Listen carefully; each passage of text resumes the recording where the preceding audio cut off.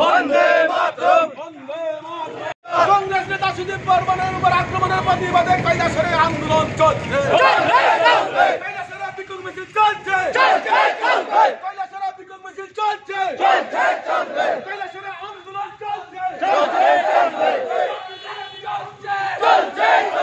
BJP হঠাৎ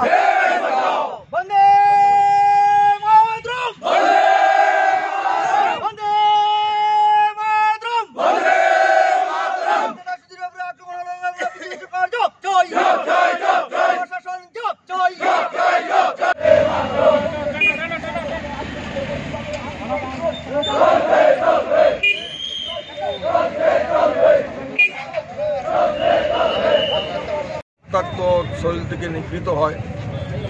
বর্তমানে উনি আইএলএসে চিকিৎসাধীন আছেন, যেটা গণতন্ত্রের পক্ষে অত্যন্ত বিপজ্জনক। কিন্তু অতীব ক্ষোভের ব্যাপার এই সময় রাজ্যের আইজিপি অরিন্দম নাথের কাছে বারবার টেলিফোন করা সত্ত্বেও উনি টেলিফোন ধরছেন শমিষ্ঠা চক্রবর্তীর কাছে টেলিফোন করার পরেও উনি টেলিফোন ধরছেন পুলিশের কাছে টেলিফোন করে এই আক্রমণ করতে জানালে যথাসময়ে পুলিশ বাহিনী পৌঁছে না।